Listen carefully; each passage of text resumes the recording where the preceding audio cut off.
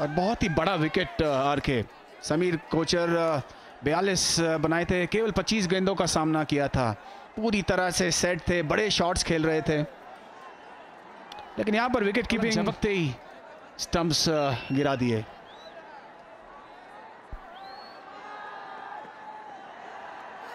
Again good delivery और out इसी के साथ दूसरा विकेट मुंबई हीरोज का।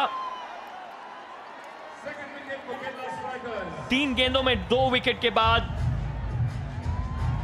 Mumbai heroes 74 for two. दोनों सेट बैट्समैन पेविलियन लौटते हुए। बाहरी किनारा।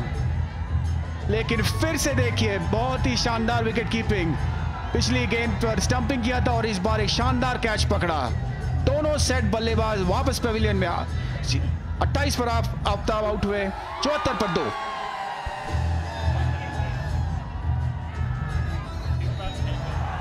समीर कोचर और आफ्ताब अच्छा मौका है सलीम के पास एक अच्छा कुछ इस तरह से आउट हुए थे।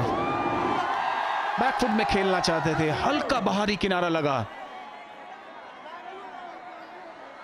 और बेनी ने शानदार कीपिंग की। समीर कोचर को स्टंप आउट किया और आफ्ताब सिर्फ़ दसानी को catch out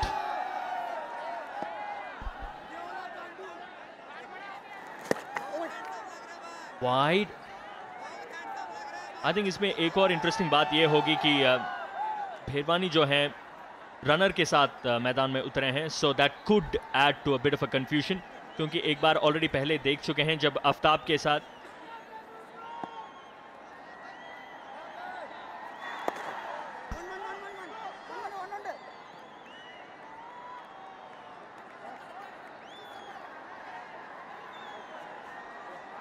पहले देख चुके हैं। आफ्ताब एक बारी कहते हुए कि वो थोड़ा सा कंफ्यूज हो गए थे जब उन्होंने रनर को नहीं देखा था।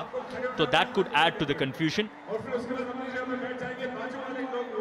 थोड़े से चिंतित नज़र आ रहे हैं बॉबी देओल इस वक्त। और के कुछ देर पहले हमने देखा था कप्तान नीचे गए थे और उसके बाद ही दो विकेट गिर गए अब वापस कप्तान ऊपर पहुँच गए हैं।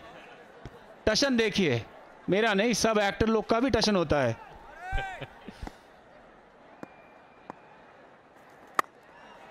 बेहतरीन शॉट शब्बीर आलूवालिया का। शानदार चौका।